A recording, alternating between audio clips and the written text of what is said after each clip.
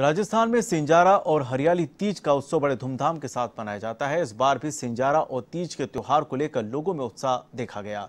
लेकिन कोरोना के चलते लोगों ने बाजारों में कम ही खरीदारी की। लहरिया दुकानदार नीरज का कहना है कि बीते वर्ष से इस बार लोगों में त्योहार को लेकर उत्सुकता कम दिखाई दी। इसके साथ ही घेवर विक्रेता सत्यनारायण पितलिया ने बताया कि घेवर की बिक्री बाज़ार में तेज है और बाज़ार में दो सौ से लेकर पाँच सौ तक के घेवर उपलब्ध हैं।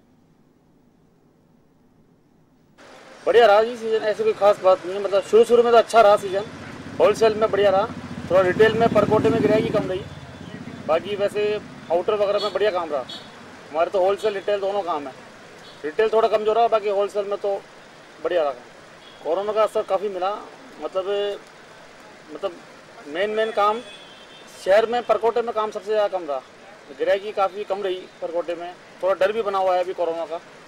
और कुछ ये परिवहन चालू नहीं है, इस चक्कर में भी कस्टमर आ नहीं पा रहा है। सिंजार पे वैसे भी ऑलमोस्ट काम हमेशा कमज़ोर ही रहता है। बाकी आज कुछ ज़्यादा ही कमज़ोर है। गेवर ऐसा लोगों ने तो आपके डरते हुए बनाए नहीं बिल्कुल भी। अब जो भी बनाए, दो चार दिन पहले बने डिमांड काफ़ी है गेवरों की हमारे पास इतने दुकानदारों के फ़ोन आ गए। अगर ये दो तीन सौ थाल भी होते तो बिक जाते। ग्राहकों की पूर्ति नहीं कर पा रहे हैं, जो ताज़ा ताज़ा बन रहे हैं, वहीं से घेवर जा रहे हमारे पास स्टॉक में बिल्कुल भी नहीं है।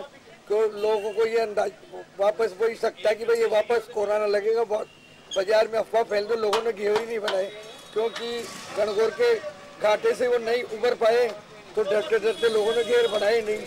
हमने तो एक जुलाई से घेवर चालू कर दिए थे, हमारे वैसे बारह महीने घेर बनते हैं, और हमारे तो टिक्की पे से घेर बिक रहे ताज़ा दुकानदार जो मांग रहे उनको दे नहीं पा रहे, हमको पहले कहते थे, उनके लिए बना देते